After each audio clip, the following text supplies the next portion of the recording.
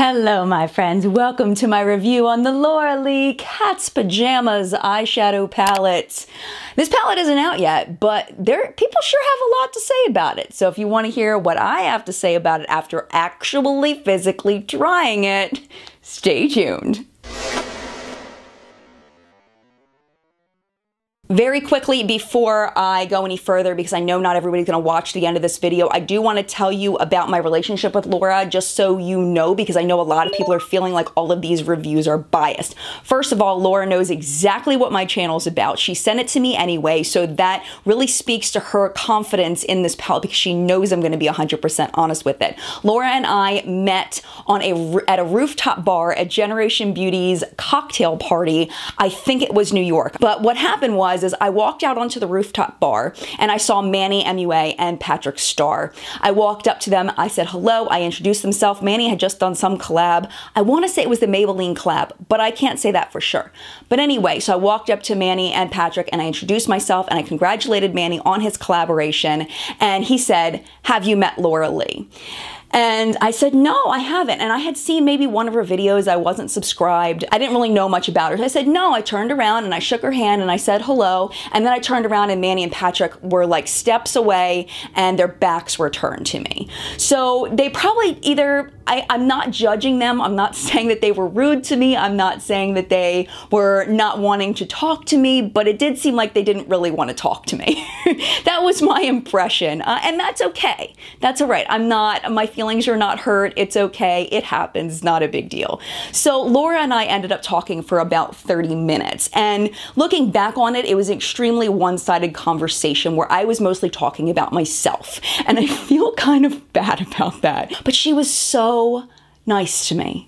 You know, she was so nice and she was so down to earth and so kind. Since then, we've kept in touch with each other on social media, kind of keeping touch on Snapchat and Instagram, but not a lot of conversation. Uh, if Laura had a problem, she would never call me. and I would never call her because we are not that close. But we're at the point where we both like each other as people and uh, we do keep in touch online. Oh my gosh. Like, I don't know if you've kept up on videos about Laura Lee's cat, cat's pajamas or kept up anywhere on Laura's social media or anything, but man, people have some opinions about this palette. No joke. So, what I'm gonna do for you is I am going to put aside the fact that this is Laura Lee's palette. I am putting aside that I have met Laura Lee. I am not even thinking about that as I review this for you because I know that is what you as consumers deserve. I do want to tell you a little bit about this palette and Laura and her company. So let's talk about Laura Lee Los Angeles. It is a brand new clothing slash makeup brand. She did release a line of clothing first, which was hats and shirts and things like that. And now she's releasing an eyeshadow palette. It will be available at lauraleelosangeles.com on October 30, 13th, not the 30th, the 13th, and it will be $40. And that is where a lot of people have problems, but we're gonna break that down in a minute. It is cruelty-free, vegan, talc-free, and made in the USA. Let's talk a little bit about what you get. So you can see the palette here. It has a smooth, glittery cover to it. It is a cardboard packaging. Inside you get a mirror that is kind of uh, hidden a little bit by some of these flowers and then the flowers inside and then you get 10 2 gram pans. There is some misinformation out there that I do want to clarify. On the front of the box that I'll show you right now, it does say 23 grams net weight. When Jeffree Star did his video on this palette, he mistakenly said that these were 0.23 gram pans. Just to give you an idea, this is the Lorac Pro 2 palette. These pans are 0.55 grams, so 0.23 grams would be about half the size, and you can see that there's no way that the shadow in here is half the size of one of these as far as weight, unless they were extremely thin. These are 2 gram pans, not 0.23 grams. The shades in here are named after different things that have been said in Laura's comments about her. So,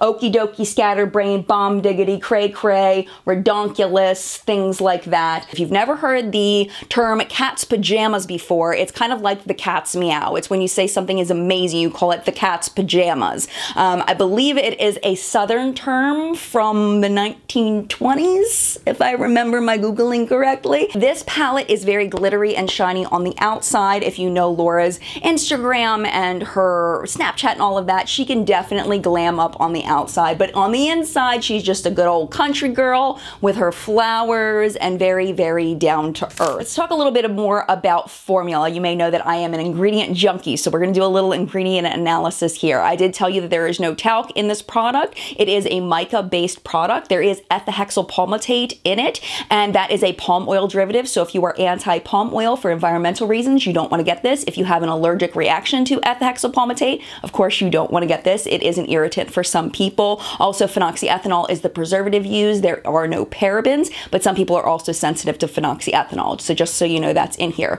This is not a lip safe palette. There is ferric ferrocyanide in it, which is not lip safe. It is eye safe. But other than that, I mean, there's a really very small ingredient list for this product, which is typical of high quality indie brands. I did do a getting ready with me with this palette. And one of the big critiques I got was that I was comparing it price per gram to mainstream Sephora brand products. And people were saying, well, she's a brand new indie brand. She shouldn't be charging what she charges. It should be closer to drugstore prices. But I did have some trouble finding indie brands that measured things the way that I like things to be measured. A lot of indie brands like to measure things by the size of the pan, the millimeters, rather than the number of grams. So I, I didn't want to, you know, I wanted to compare apples to apples. So I found some indie brands that do talk about their grams. The Cat's Pajamas palette is two gram pans. There's 10 of them and it's a $40 palette, making it $2 per gram. So the first one is Coloured Raine. They have their Queen of Hearts palette. It's $50 for 17.5 grams of product, equaling $2.86 per gram.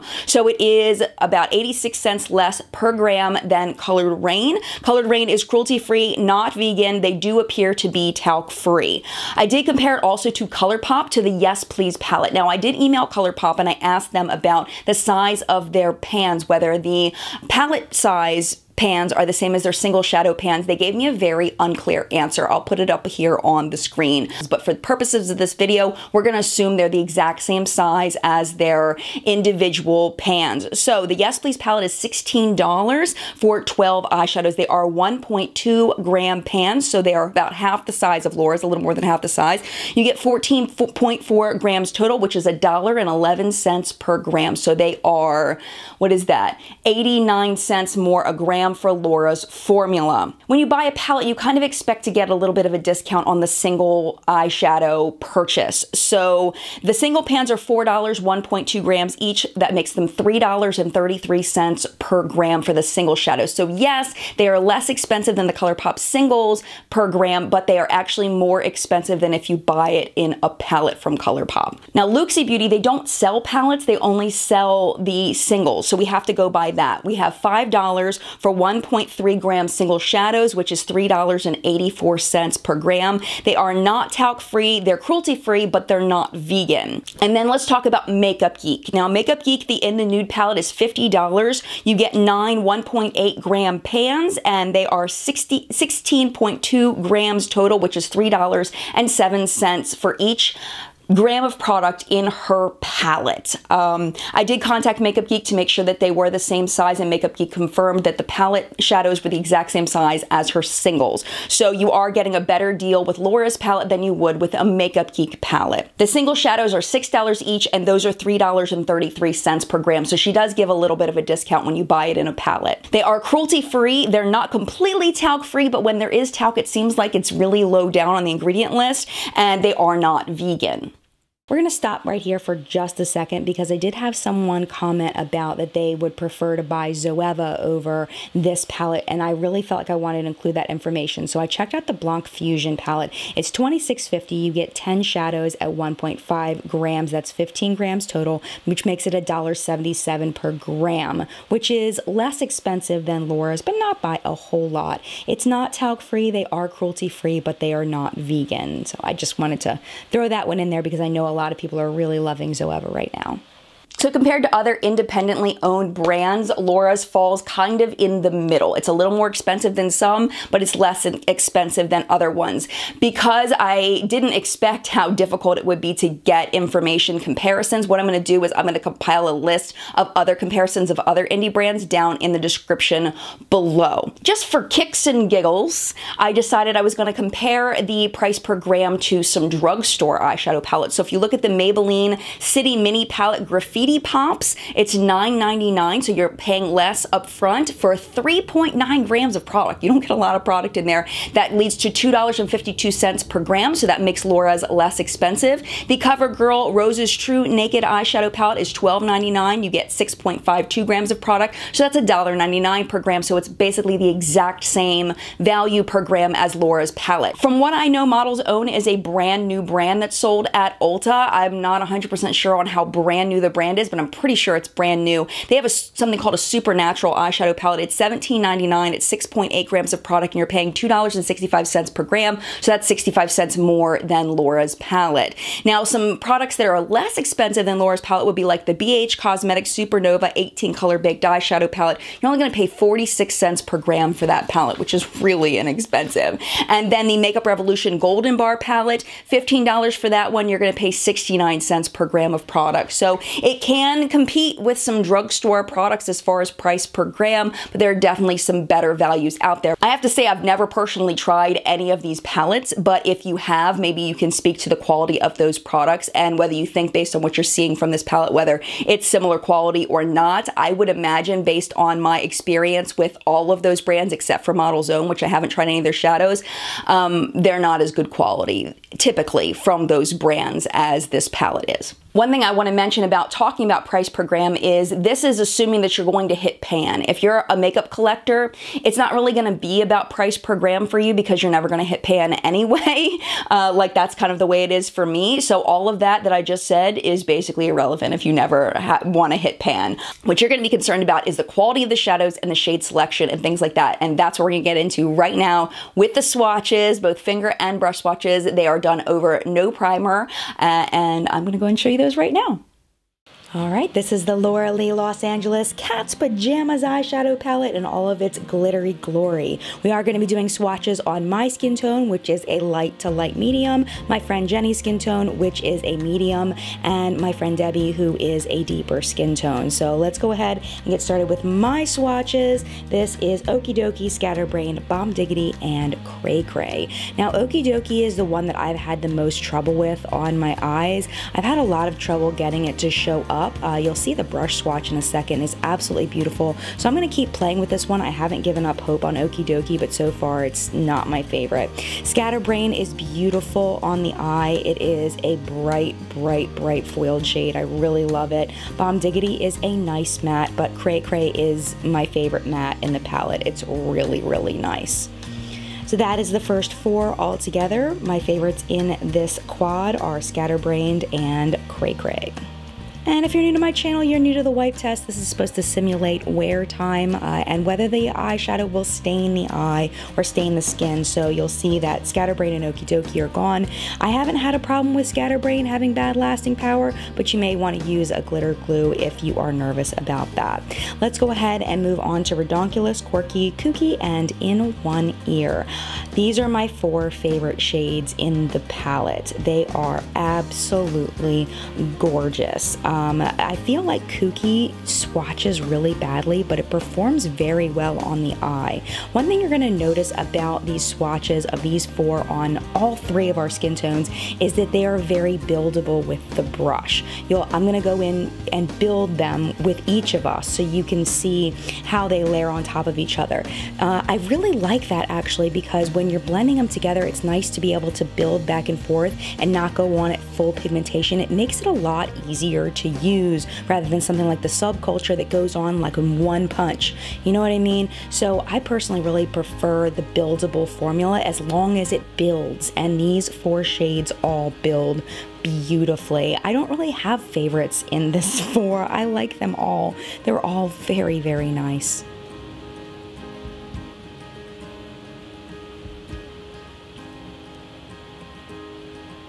And on to the wipe test, you'll see they all hang out there. Just to secure yourself, you may want to use a glitter glue with Ridonkulous, but I honestly haven't had a problem with wear time with that shade.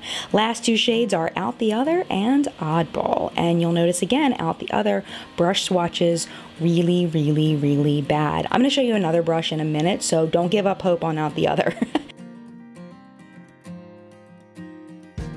Um, you can see Oddball is definitely not the black. Oh, yeah. So I accidentally swatched, brush swatched it twice. We're just, whatever. We're just going to try to wipe that off. Uh, yeah. But you'll see that Oddball really is more of a deepening shade rather than a really, really thick black. Unless you spray some kind of Fix Plus on it, it's really going to be something to just kind of deepen the other colors without um, being like a really super harsh black. It's not a super pigmented black, black, black, black, inky black. Both of these shades I like. I don't think they're the strongest shades in the palette, but I like them. And you can see with the wipe test, they both hang out there pretty well. So these are going to have, most likely, very good lasting power. Now here is my friend Jenny introducing you to her. She is a Filipino descent. She has a medium skin tone. Uh, so this is what Okie Dokie, Scatterbrained, Bomb Diggity, and Cray Cray look like on her. I do apologize, it does go out of focus a little bit and it was just because I didn't notice while she was here and I couldn't call her back over to, to do this again, but I promise you, you'll be able to see them all very well. They all look really beautiful on her, except for Bomb Diggity, that one's starting to get really close to her skin tone, so that might be a really nice olive over lid color for her. Moving on to the next four, and we literally gasped when we saw Ridonkulous on her. We went, it was crazy. Um, these shimmer shades are just glowing on her skin tone. They look even better than they did on me, like by far. Um, but as you can see with the brush swatches, we kind of had the same problem that, not problem, but the same thing with, with me is that they definitely need to be built up to full opacity. But this is also nice if you like an, a lighter look and you don't like things super punchy. Personally, I like like things really, really punchy. So building it up is very important to me. But, um, but yeah, it's nice to have that option in case you want to go for a lighter, more muted look. You can see they all build up really, really nicely. Yeah, I thought I had a nice enough swatch of Kooky, so I kind of let that go. So this is the next four on Jenny's skin, and I think they look absolutely gorgeous. Again, that's my favorite. Uh, those are my favorite shades in the palette. On to the last two, Out the Other and Oddball. We have the same swatching thing with Out the Other, where it's super, super light. Not too much difference here with the performance of these on her versus me. Uh, you can see that the Oddball shade really does look nice and smooth. They, they all look very smooth on her, which I didn't think really came came off as well on me.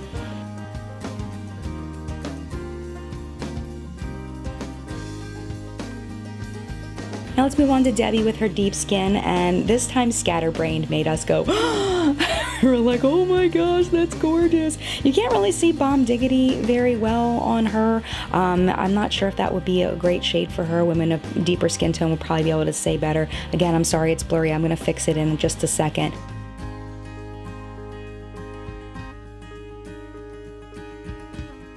Cray Cray is just beautiful on her. Again, that's my favorite matte shade in the palette. I really like it a lot.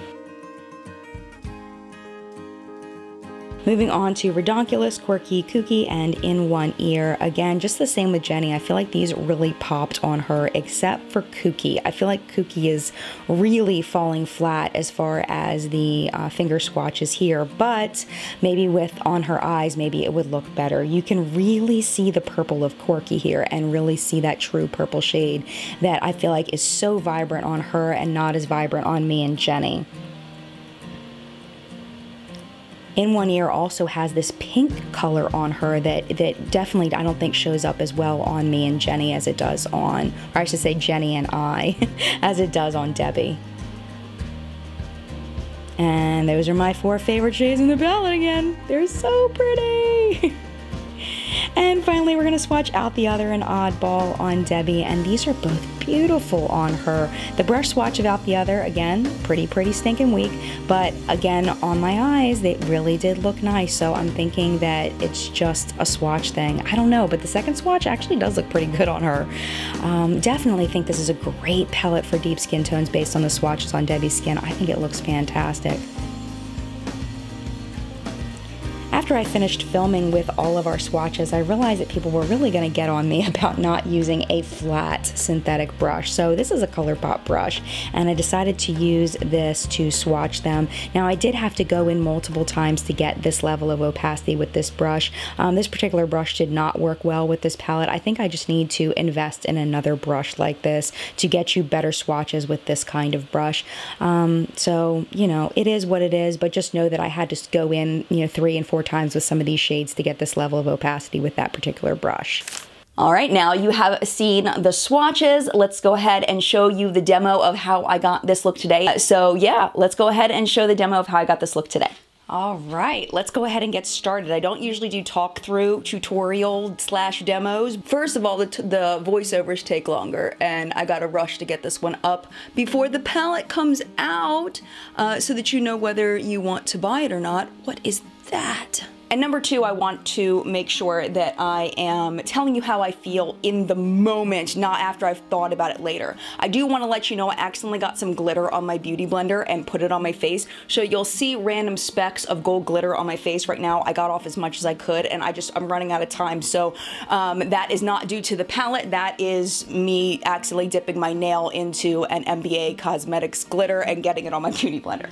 So let's go ahead and get started and we're going to use my brand new uh, Luxie Jasmine brush for my crease color and we're going to start with Bomb Diggity which is this one right here and this is a perfect crease color for me.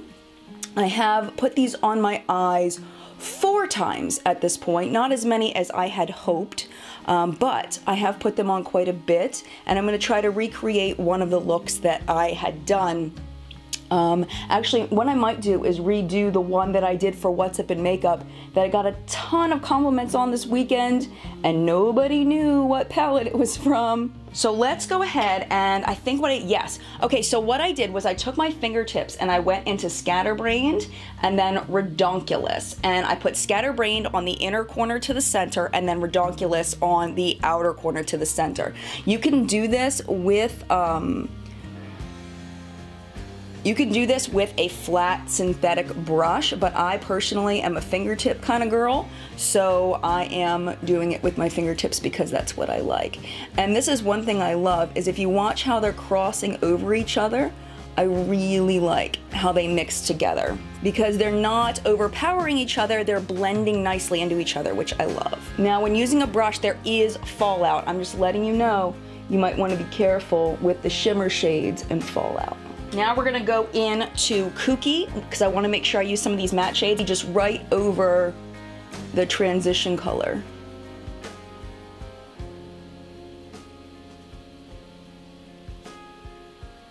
Okay, and you could actually leave the look right there if you wanted to. Um, I am going to just to um, deepen it up a little bit, I'm gonna go into out the other. And I'm just gonna kind of swirl that in the outer corner to deepen it up.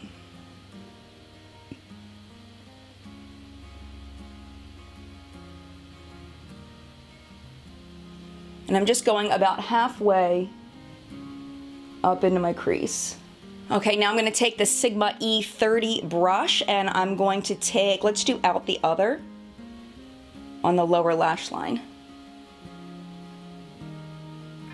Okay, now I'm just gonna take, uh, let's see, hmm, let's do, let's do scatterbrain, let's be brave. Make sure I tap off my brush. And I'm just gonna bring that on the lower lash line over. I'm just gonna take this little Q-tip and just clean up and sharpen up the edges here. You can do this with tape, you can do this with um, a shadow shield, but I just like to use a Q-tip. There's definitely fallout on my face from Scatterbrained not all of it is that MBA. You saw how much there was before, and now I've got more. One thing that's good though is I haven't noticed fallout through the day that's that much worse. Um, it'll fall a little bit more off my eyes, but what you might want to do, another alternative would be to use glitter glue over top um, of the primer or add a substitute for the primer to kind of make that shadow stick. I know some people use glitter glue for, shimmer, for all shimmer shadows, which is probably a good idea, but I wanted to show you without. And actually, now that I'm looking at it, let's go ahead and take Okie Dokie, which is this shade right here, and let's just blend out the brow bone just a little bit. There we go, that's better. Now it looks more finished.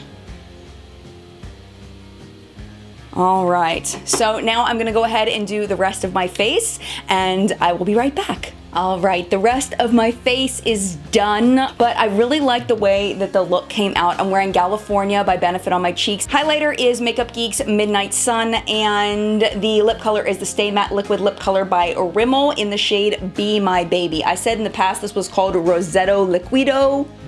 That is not correct, just so you know if you've ever heard me say that before.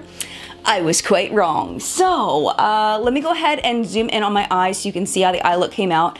And just a reminder, I am not a makeup artist. This is, you know, former teacher, mom, eyeshadow look, not trained makeup artist.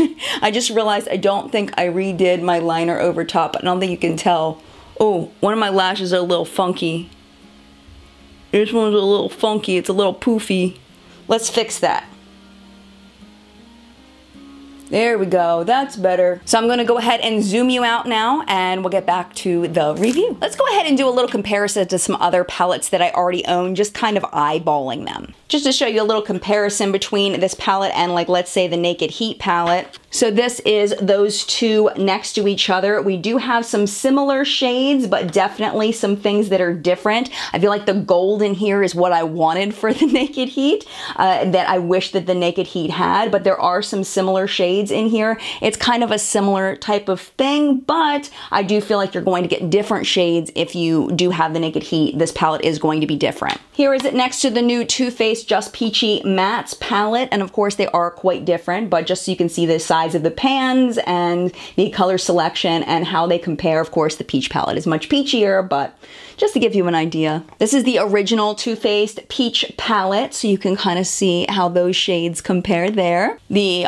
Anastasia Modern Renaissance palette looks like that there, and there is quite a bit of similarity, I think, between these. I think more than any others, I feel like these are similar. Uh, they're definitely not the same, but they're similar. And then this is the Queen of Hearts palette by Coloured Raine. This is one of my favorite palettes of all time. It's amazing and it looks like this. This shade right here, Scatterbrain, reminds me a lot of the Coloured Raine shades, this Royal Highness and Your Majesty shade. It's very flaky and chunky, so um, definitely keep that in mind if you've had tried these before. This one is a very similar formula. I feel like the other shimmers are just a little bit different than this one. Just to kind of put Your Majesty and Ridonkulous next to each other. They're very, very similar. This is Your Majesty from Coloured Raine, and then this is Ridonkulous from Cat's Pajamas. So now it is time for me to give you my full review of this palette. I am taking Laura out of my mind. I am pretending she doesn't exist,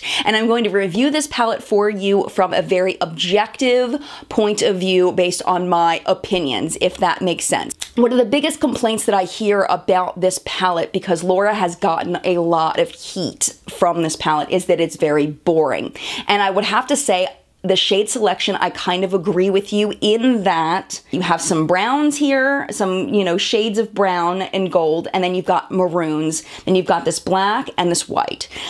I wish that she had been a little more creative in the color selection. I do have to say the shade Quirky is very unique to my collection. I did a halo eye with this shade and this shade and it looked gorgeous. Um, and it's more purple than it's showing in the pan. Hopefully you saw that in the swatches. And I really loved it. And I loved that it stayed a true purple and didn't turn gray because a lot of purples will turn gray on me and they look terrible but I can totally see that critique on this is that it'll provide kind of a limited number of looks because it is just two kinds of colors. And Laura loves these kinds of colors, so I can see why she picked them. Um, I do wish that she had replaced this black with a deep brown. I feel like the black really kind of throws everything. If you see some of the tutorials of people using this, Jeffree Star comes to mind where he throws the black up in the crease. It looks really weird in my opinion. I did not enjoy that look very much and that has nothing to do with Jeffree at all. I just didn't enjoy that look. Um, I just, I feel like the black is kind of out of place. I do feel like this white is definitely should be there. I, am glad that she put it there, but it's not my favorite shade in the palette. It's definitely my least favorite. It's the most powdery. It's the one that I know I'm kind of like, mm, like I might have to reach for one from another palette. But other than that, I think these shadows are fantastic as far as the quality. They're really, really good. But as far as the boring thing, I get you. I hear you. I kind of agree. The next big critique is that this is not a very cohesive palette. This is just, I mean, it's Laura in a palette. People say, you know, there's nothing about cats in here. Why is it called cat's pajamas if there's no cats? And it's because cat's pajamas, it's the saying, it's not actual cats. It's the saying of it. But I can totally see that point too, you know, that we've got glitter, we've got flowers, and we've got names that apply to her. So I can see that point as well, uh, that it's not, the theme isn't really super strong unless you know Laura. And as much as I know her, this fits pretty well. And I say that with the most love in my heart because I do really like her a lot. I think she's a wonderful person. Hold on, I let her go back into my head for a second. Okay, I'm pushing her back out. I'm pushing her back out of my head. But I can see someone not liking the lack of cohesiveness in the palette. I totally get that. The last big one that I heard a lot is that she is an indie brand. This is her first product and she doesn't really have the right to charge $40 for an eyeshadow palette. If you watch the value section of this video, you'll see that it is really a fair price for what you get. Now, I don't know of any indie brands that start off at one price point and then raise their prices later. Like, have you ever seen a brand do that? I don't know if that's a strategy that's real where you start at a lower price point because you're a new brand. And I think that sometimes people will suggest something like that and people jump on it without really thinking about whether that's real or not because I don't I honestly I've never heard of a brand having coming out with a low price point and then upping their prices later. I think people would be mad. I think I would be mad. you know, if she started at a lower price point and then all of a sudden it got more expensive. I don't know. I don't know. That's just me. Based on the quality of the shadows, I feel like $2 per gram is fair. Because she has so many younger fans and because she, I've heard people call her the drugstore queen, I almost wish that she had done like an eight shadow palette where the pans were like 1.5 grams each and then brought it down to like $25. I feel like that would have been better accepted than a 10 pan palette at $40, if that makes sense. Just giving less product for a less expensive price. I saw people say in my comment section, more than one person say that they thought this palette looked like it was worth $10. I don't know where you're shopping for $10 eyeshadow palettes, but if you can let me know where you can get a palette like this for $10, I want to go there. like I will be so excited to go there because the closest that I have to something like that would be like Five Below. I'm thinking of like city color palettes where the pigmentation is kind of hit and miss and the quality of the ingredients is not good at all. Uh, I'm also thinking like Hot Topic eyeshadow palettes that are made in China, they're mass produced. When you're starting a makeup brand on your own, you don't have that luxury of being a huge company with millions of dollars to kind of soften the blow if you chop the prices down at first. You know, ColourPop started off as a smaller brand, uh, but that was before they came up with eyeshadow palettes. They had the um, the single shadows for a really long time. The Super Shock shadows was all they had, and the lippies for a while. So I don't know what the cost was on those when they started, but they sure weren't coming up with eyeshadow pressed eyeshadow palettes. So yes, a brand like ColourPop might be able to start off with, you know, the Super Shock shadows and the liquid lipsticks and kind of rock it. Um, but they definitely had a lot of money that they had already, where Laura is just one person. You know what I mean? Like they were a company and she's just a person. I don't know if you see the difference there, but I see the difference. So where I want to leave this with you is who do I think this is good for and who do I think this is not good for? So let's start with those people that I don't think should purchase this. I don't think you should purchase this if you already have these shades. I don't think that you're going to find it to be outstandingly different from the other shadows that you own. Also, if you don't like warm tone palettes, then this is definitely not going to be for you. If your budget is less than $40 and you just don't have cash for something like this, this is definitely not going to be for you. If you if the design bothers you and you really just don't like the way it looks, it's not going to be for you. I don't think that it's fair to throw this out saying that it is not a good value. I think that that has been disproven in this video. It is a good value for the amount of product you get. So that should not be the reason why you don't get it. But if it's over your price range, if it doesn't seem to be worth the $40 to you, then of course you would not get it. But don't get it because you don't think it's worth the value as in price per gram. Now, who this would be good for, of course, is Laura Lee lovers. People that love her, want to support her, of course, is going to be the number one audience for this. Also, if you like very highly pigmented, easy to blend shadows and you enjoy this color scheme, that is who is going to want to purchase this. Now, I've been asked if this was not sent to me by Laura, would I have purchased it? And I have to be honest with you, the only reason why I would have purchased this is because I would want to support her. If I didn't know her, if I didn't know know this brand, I would not have purchased this eyeshadow palette because I do have a lot of these shades already in my collection and I feel like it's kind of doubling up on things. So Yes, I would have bought it because I've met Laura before and because I really like her, but no, I wouldn't have bought it if Laura wasn't attached to it. I do want to make sure that I'm very clear though that the not purchase has nothing to do with the quality of the shadows. The quality of the shadows it's, is fantastic, but it's just the color scheme I probably wouldn't have wanted to double up on colors that I already own.